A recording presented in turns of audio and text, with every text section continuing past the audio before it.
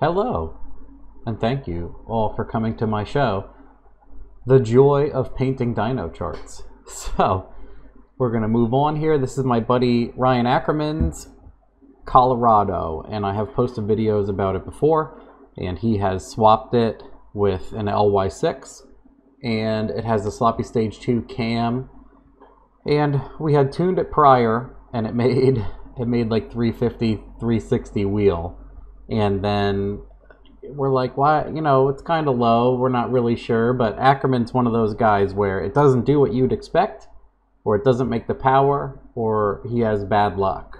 So I'm sure I talk about this all the time. Everybody knows somebody like that.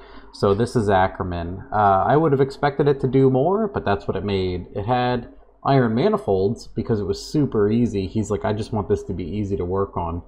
And we went back and forth, and he's like, Well, I guess I'll spend a ton of time and money building long tubes. He built long tubes, and it made the same power. We're like, Oh man, uh, not ideal, right? And we basically tuned it on 87 and 93, and it made similar power because what he wanted to do was drive it all the time, and he does. He drives it all the time. So the other thing, he's like, I'd love to get a blower and run it on 87 and just drive it all the time, but have tons of torque down low for drivability, or just it's obviously nice to barely roll into it and feel tons of torque down low. That's where the roots blower comes into play. So we did, we did hit it many times. So I threw in. He was driving around on this tune. It has a Snake Eater 850 drop in LS3 height guys, and then you have to get a fatter O-ring for the bottom of LSA blower.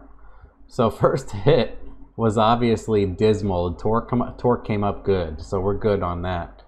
So this looks bad, but I put nearly no ignition in it because I was worried about it on 87 and for it being like the first swing at this car, obviously.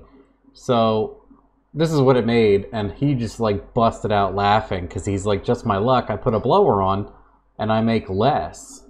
So there's baseline manifolds. I think we'll take a look at the, yeah, yeah, here. So it made 363 on manifolds, and then with headers, it made very similar, as you can see. Uh, it even made a tiny bit less. I think these were in fourth gear and this was fifth. So fifth is one to one with these transmissions. It would be nice to put the blower back on and hit it in fifth. I forgot about that.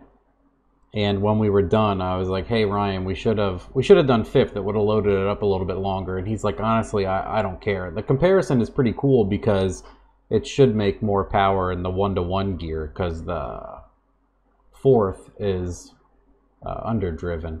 But anyway, uh, there's not much of a gain, not much of a gain here at all. it looks a little bit better, but this, imagine this curve shifted back. So they're identical, and that's why he laughed.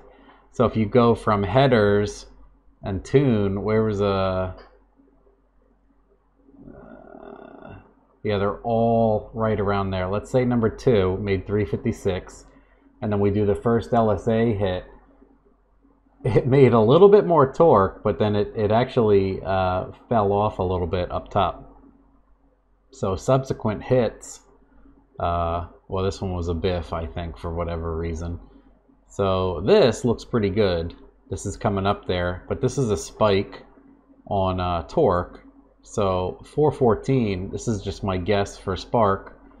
And we we pushed it a little bit. Like I made, I kept making better and better down low. I was getting more comfortable, so I was stabbing it farther down low. Yeah, it's, see, it's mad here because of all the different speeds. So I kept hitting it lower and lower. Uh, I forget what was up with this one. This this hit, I can't remember what was going on. Oh, see the tach signal's dropping out. That's why we got to go to speed, and then torque starts to get irrelevant. So I really leaned on it, made 430, and then 460 was ethanol.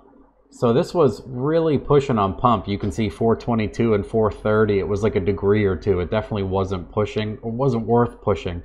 So we ended up going back down to this 414 area with really safe ignition because this is 87 octane, guys. It's six pounds of boost on 87. So it was nice to see how well it did. And then uh, da, da, da, six. So we'll go five is the push and then 6 is the first E85 hit, and then it made 468 here, and that's all I really felt comfortable pushing it. it.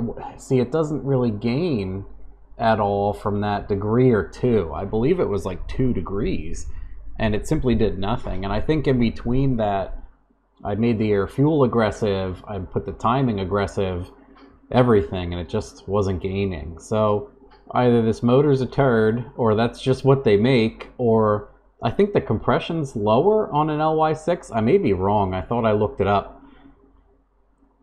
I have the tune open and da da da da da. Do I have this open too?